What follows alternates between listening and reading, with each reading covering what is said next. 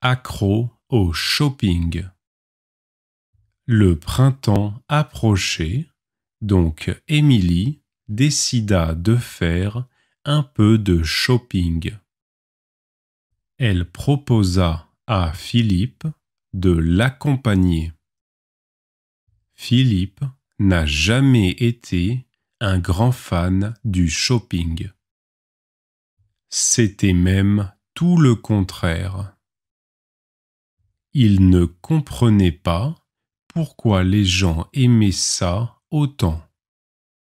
Mais il accepta quand même pour faire plaisir à Émilie. Émilie, contrairement à Philippe, adorait le shopping.